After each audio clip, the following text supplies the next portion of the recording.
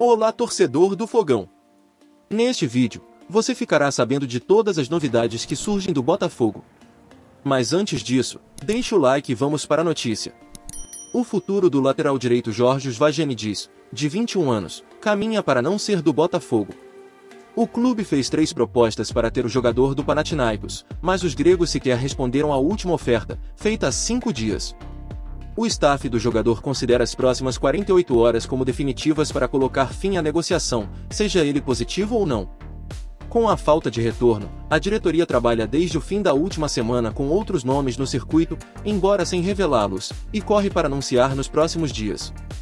O limite para inscrição nas oitavas de final da Comebol Libertadores é no próximo dia 9.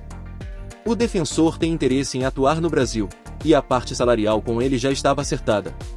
No entanto, ele é um dos jogadores mais promissores do Panathinaikos e foi titular no primeiro jogo da fase preliminar da Europa League, na última semana. Agora, o clube vai enfrentar o Ajax, no próximo dia 8, em um momento decisivo da temporada.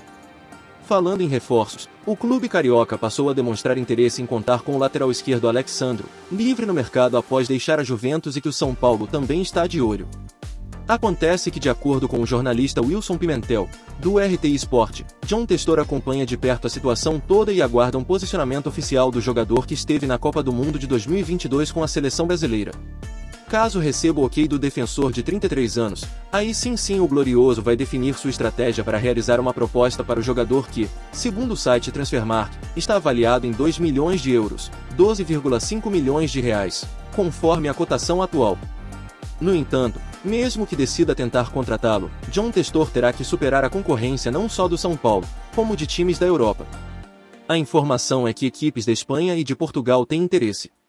Além disso, haveria também clubes da Arábia Saudita atentos à situação do brasileiro, esperando para injetar muito dinheiro e convencer Alexandro.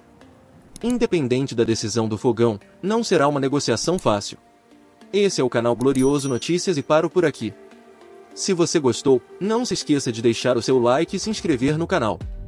Até o próximo vídeo e um grande abraço.